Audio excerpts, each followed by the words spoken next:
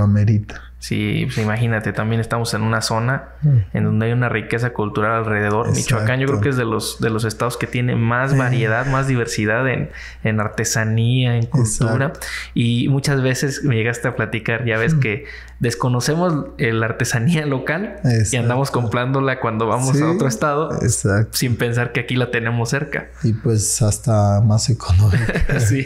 No, es que ese es un, ese es un mercado que se maneja nada más que da vueltas. Ajá. Porque tanto en otros estados hay artesanía que es de aquí Ajá. y que la conseguimos este más, más barata aquí, pues que lógico que en Zacatecas. Pero es un decir en Zacatecas. Pero por decir, este, hasta hay artesanía que es de otro estado Ajá. y la conseguimos y la venden aquí. Ajá. Y hay veces que compramos la de aquí en vez de que vamos a, vamos a llamarle ahorita Zacatecas. Voy a Zacatecas y allá digo, bueno, si es de aquí, ¿por qué no lo compré? Dicen, ay, allá en Michoacán, ay, ¿para qué me llevo? Sabiendo que allá es más barato. Ajá. Entonces lo que, eso es lo que no sabemos que a veces artes, qué artesanías Sí. comprar y qué no. Para los que gustamos pues de las artesanías, porque hay algunos que pues ya ves que no, les gusta ello. Pero hay veces que hasta menospreciamos, fíjate, las artesanías, Miguel, y, y tanto trabajo que da Sí, al eso- artesano.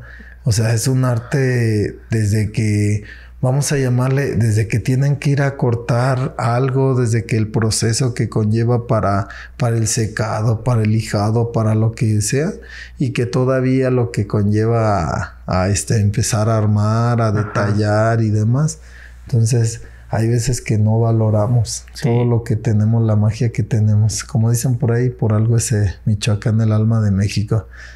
Yo, yo me siento bien orgulloso, fíjate, de, no porque sea michoacano, pero la verdad digo, Michoacán, pues, ay, rico en costumbres, tradiciones y, y demás. O sea, tenemos todo en Michoacán, nada más que no lo valoramos. Ujú. Y yéndonos pues en el aspecto este, cultural y, y demás. Pero yo creo que hay muchos estados. La verdad, cada estado tiene lo suyo. Ajá. Pero pues cada uno de nosotros nos enamoramos de nuestro estado. Sí, claro.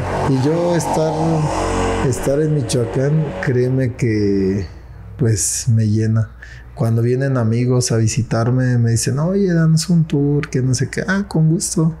Eh, se van fascinados de Michoacán.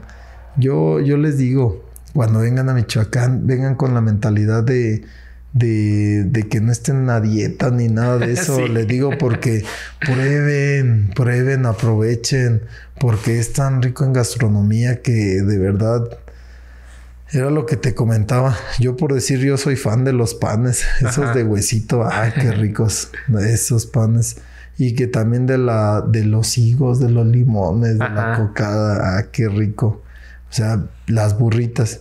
O sea, te digo, esas gastronomías que, que uno, que uno este, dice para uno es normal, o que Ajá. preferimos a veces, como, ah, no me gusta más esto que esto. Y yo Ajá. digo, bueno, teniendo pan tan rico y no lo valoramos o lo apreciamos. Y es algo que llevamos, fíjate, allá en este, a diferentes partes cuando vamos a bailar con los muchachos. Ajá. Siempre tenemos que llevarles algún detalle. O sea, no siempre tenemos que llevarlo, más bien eso nos nace. Sí. Y le llevamos que eh, la charolita con sus dulces tradicionales de aquí de Ario, Ajá. lógico, y el su kilito de cocada, lógico. Ajá. Y también le agregamos ahora el pan, Sí. así el pan para que lo prueben y todo. Y pues te digo de una u otra forma, pues se da a conocer la gastronomía de aquí. Cuando manejamos en la olla podría Ajá. decir, no, que la olla y todos así como que, ay, eso suena feo. Se espantan con el nombre. Sí, de hecho. Pero hay muchos que, que la prueban y dicen, ay, qué rica, y ya la siguen consumiendo. Ajá. Pero así es esto, Miguel, ¿cómo ves? No, pues, está excelente.